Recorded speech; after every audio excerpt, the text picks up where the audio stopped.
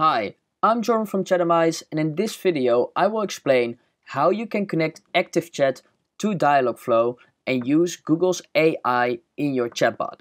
So what you will learn in this tutorial is how you can handle intents and set up a response in ActiveChat and also to handle entities with Dialogflow and use the values of entities inside ActiveChat.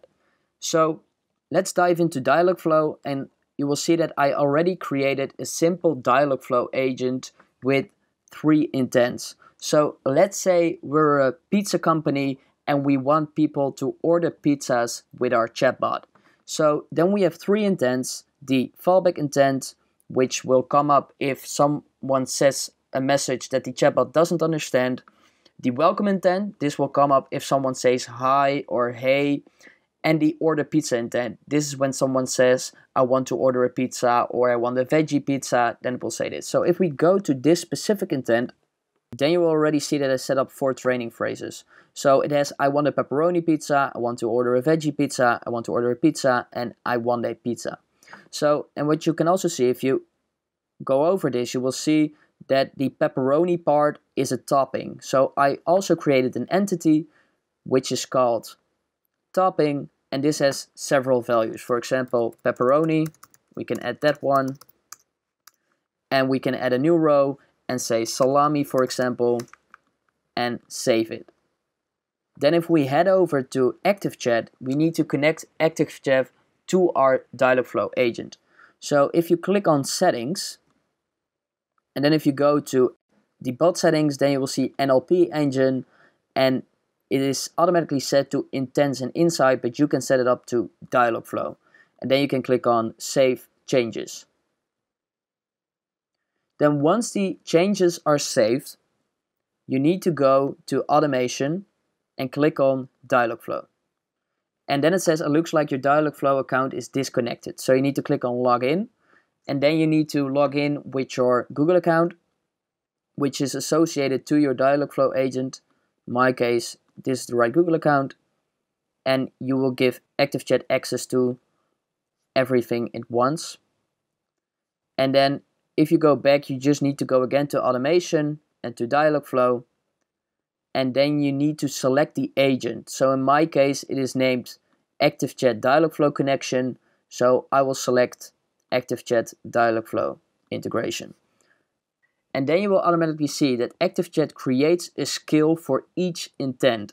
So the intent order pizza has the skill df order pizza. The welcome intent has the skill def default welcome intent.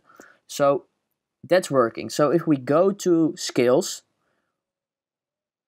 and then go to one of the intents, so for example the df order pizza, you will see that ActiveChat already created a standard flow for them. So if someone says in your chatbot, I want to order a pizza, you can set the text response to pizzas. So, and then if we click on run, we can test the chatbot. So it will automatically show the welcome message. And then if we say, I want to order a pizza, then it says pizzas. So that's working. So that's how you handle a Dialogflow intent in your ActiveChat chatbot.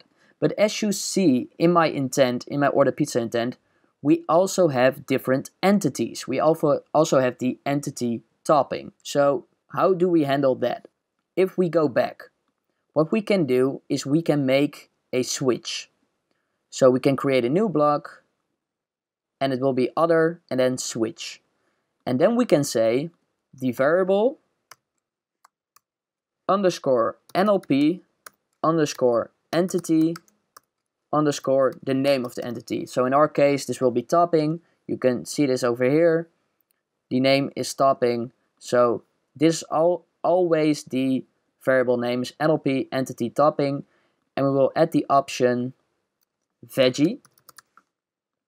If that's the case, then we will set up a message a new block which will be talk and then text and it will say veggie pizzas and otherwise it will say pizzas. Then we can also add another option, which will be pepperoni. So we can add that option. If that's the case, we will say pepperoni pizzas.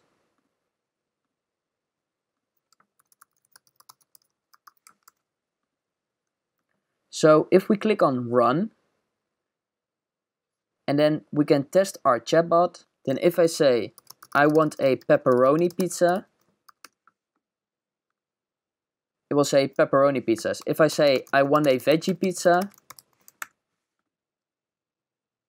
veggie pizzas, and if I say I want a pizza, then it will say just pizzas.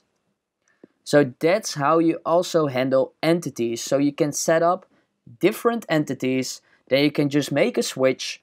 If Dialogflow recognizes one of the entities, it will say veggie pizzas or pepperoni pizzas, and otherwise it will just say pizzas. So that's how you connect ActiveChat to Dialogflow and use Google's AI in your ActiveChat chatbot. If you want more videos on how you can use chatbots in your marketing, please subscribe to my channel.